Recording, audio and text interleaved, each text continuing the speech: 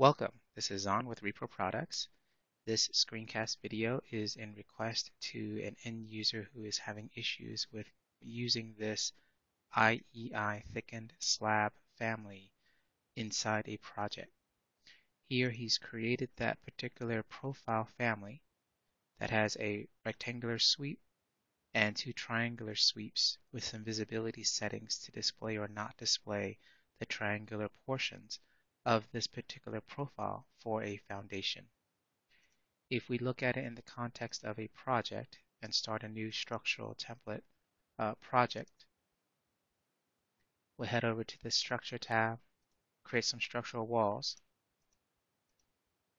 head over to Level 1, swap back to the profile that he's working with.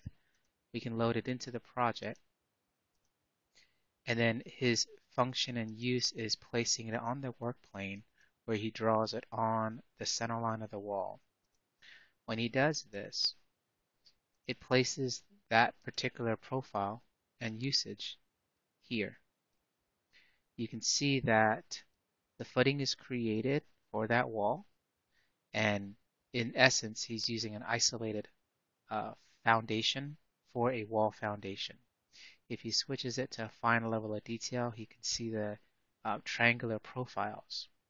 If he switches to a plan view and moves this over again to a fine level of detail, this is what he gets. His issue is it doesn't clean up very nicely in the corners, and it's very difficult to get him to see, get Revit to see the um, triangular profiles. Um, the way he's gotten around doing it is to use in the Modify tab the hidden line command, line work tool command, to hide certain lines that he wants to uh, doesn't want to see, and you know, kind of his workaround. Here is another approach to creating this type of object in 3D so that way it functions nicely and it looks presentable and you can also use it for rebar and it'll clean up this corner. When we take a look at um, a new project, close this out and close out his file. Um, I went ahead and created a new profile for a slab edge and made it just a triangular portion as you can see here. And I created multiple types of different sizes, 6 inches up to 12 inches. I then took it and loaded into a project. And if we head over to a 3D view, you can see we have a couple of structural walls here.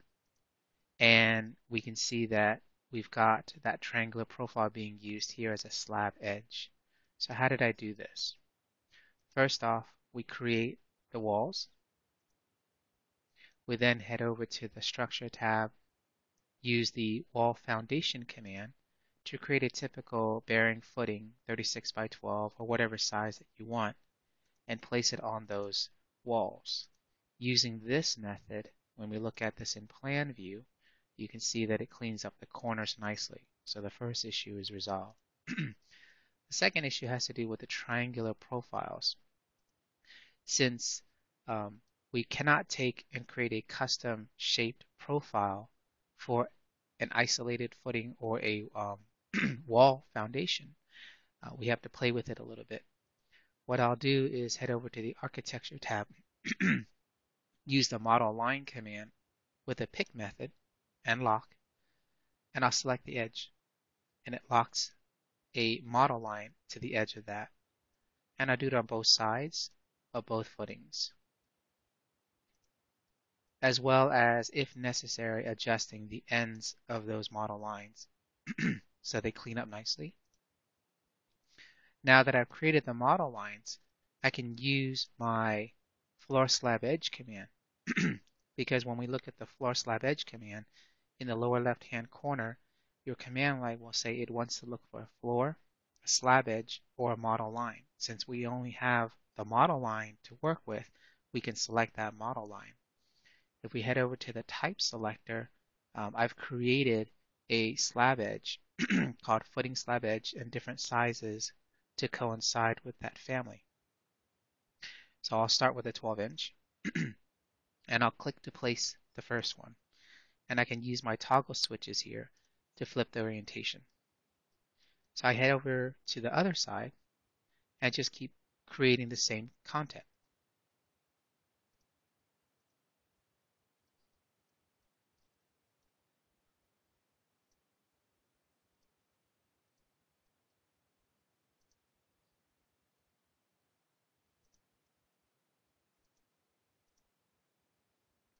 And now you can see that the slab, triangular slab edges work nicely with that structural wall foundation bearing footing.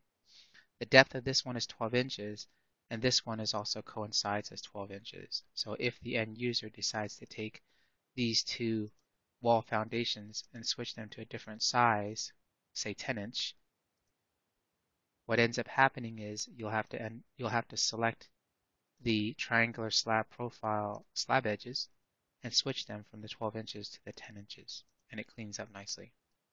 If you want to for graphic purposes you can go head over to the modify tab of the ribbon geometry panel and use join geometry to join the objects together. That way the line work looks clean and just do a quick glance around. And if you really want to hide the 3D uh, model lines, you can do so as well. You can't select one and right click and say select all instances in the entire project were visible. You have to actually manually go through and select the ones that you want and holding the control key you can add the ones that you need. Once you have them selected, then you can right click and hide them, say by category and they're gone. Doing this will help you visibly see what other objects need to be joined together. So for example, this one needs to be joined with this, and you'll get a clean line. Now if we head back over to the plan view, you'll see that your walls are joined nicely, those footings are joined nicely, and um, if we look at what's hidden, I have those triangular slab edge footings hidden by category. So if I unhide by category, then you can see them now. And this is really from the standpoint of the end user wanting to be able to say, I want to be able to see those triangular slab edges in 3D but not in plan. So they can go through the process of selecting all of them and hiding them by category.